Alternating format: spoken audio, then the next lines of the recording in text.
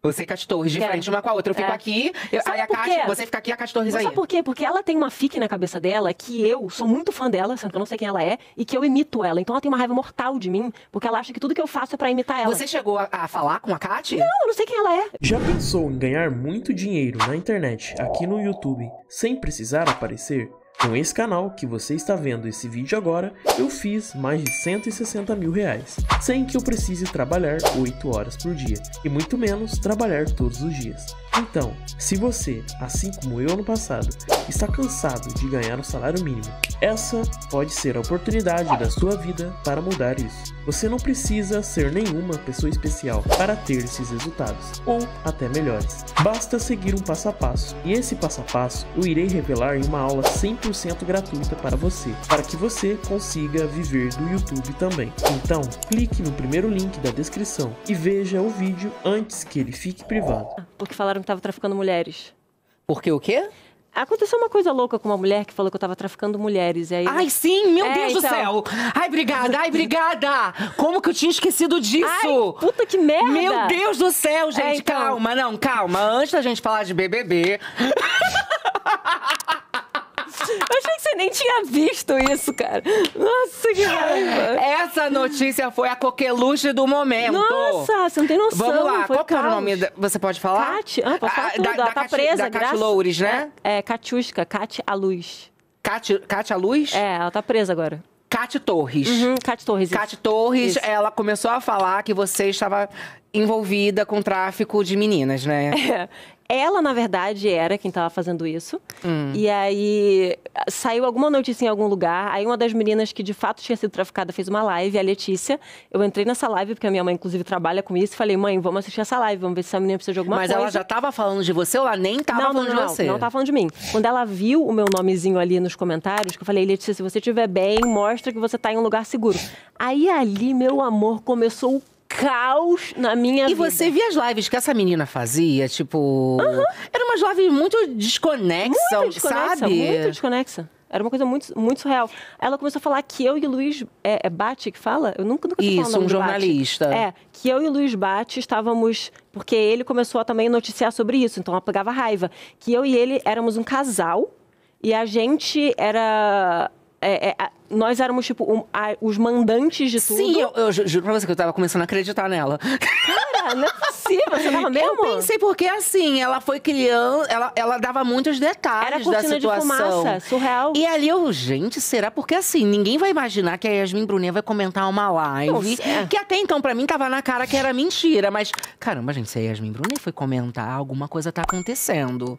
Essas coisas não é assim, Ah. de graça, assim, sabe? Não foi só eu que comecei a acreditar, não, tá? Eu juro pra Eu você. sei, uma galera começou a acreditar, eu tive ameaça de morte. Nossa, eu fiquei muito mal nessa época, Aí real. você entrou na live, eu pensei, gente, no mínimo ela tá preocupada. Que vão descobrir que, que vão ela... descobrir dela, Não. exatamente. Bizarro, surreal. Aí elas faziam vídeo, tipo, chorando. É, a, a mando da Kat, né?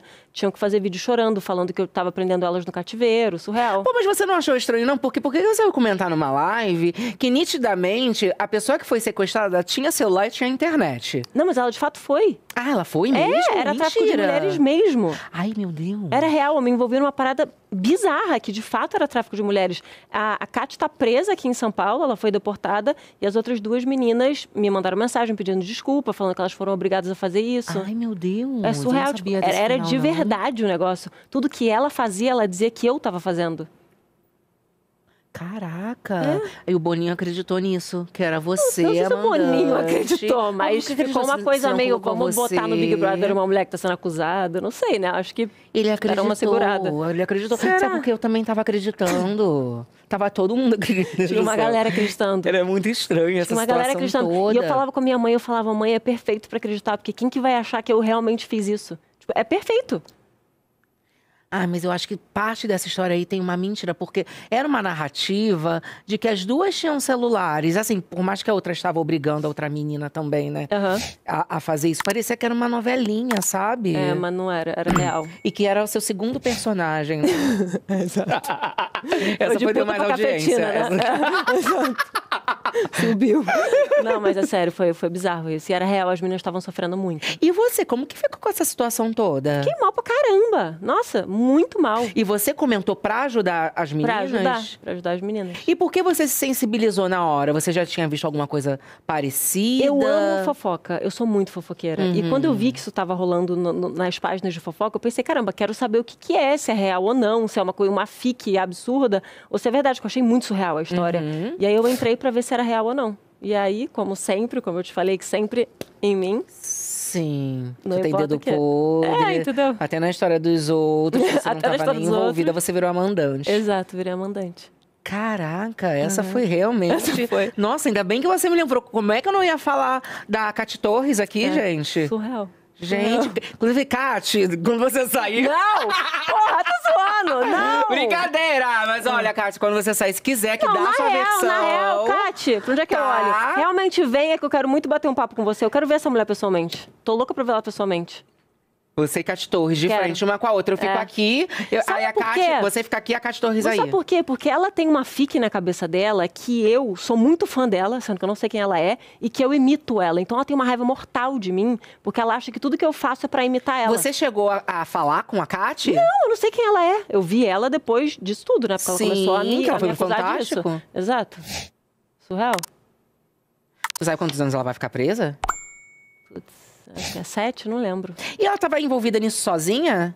É, era ela. Tudo é- ela fazia sozinha. Fazia Toda sozinha. Essa, essa situação ela fez Uhum, sozinha. Envolveu muitas meninas nisso. Muitas meninas. Muitas meninas que ficaram depois com problemas psicológicos, assim, absurdos. Foi muito sério o que ela fez. Muito. Caraca. Uhum, muito. Isso foi em que ano? Putz, acho que é um, um ano e meio atrás, eu acho. Um ano e meio atrás. Ela É. foi condenada a oito anos, então. Eu acho, posso estar muito errado. Foi isso? Oito anos, é. Oito anos. Caraca, você se envolveu real nessa situação. Você falou com as meninas. Falei. Com todas, não. Não, são muitas Só com as que estavam envolvidas ali na- nos vídeos e você foi tentar defender, Sim, né? e aí outras que já tinham passado por situações com ela e conseguiram fugir ou não chegaram aí aos Estados Unidos também me mandavam mensagem explicando, Que falando que era real, que era muito isso? perigoso. Que ela Nossa, realmente... gente, ela fazia um- umas coisas, tipo, um exemplo. Ai, se benzendo com um brinquedo X, com patinho É. X. Aí enchia a banheira. Aí isso dava a entender que era, Era, uma era o grande banho alienígena, circo. isso. Beco, Banho alienígena. banho alienígena, né? Se chamava. Então, isso dava a entender pra mim que tava assistindo que era uma, era uma grande brincadeira. Não, mas ela acreditava nisso muito. É? É, muito. É, ela é muito doida. Eu não sei o que acontece ali, ela é muito doida. Muito doida. Nossa, gente, É. Agora sim, aí depois que o Boninho viu que você não tinha culpa de nada. Eu não trafiquei ninguém. Eu sei. Nossa, menina pesada, vem com uma assunto pesado pra cá. Aí depois que o Boninho viu isso, aí refizeram um convite pra você pro Refizeram. BBB 23. Exato. Né, pra realinhar os chakras da casa. Ah, é, super. Super Né? realinhei.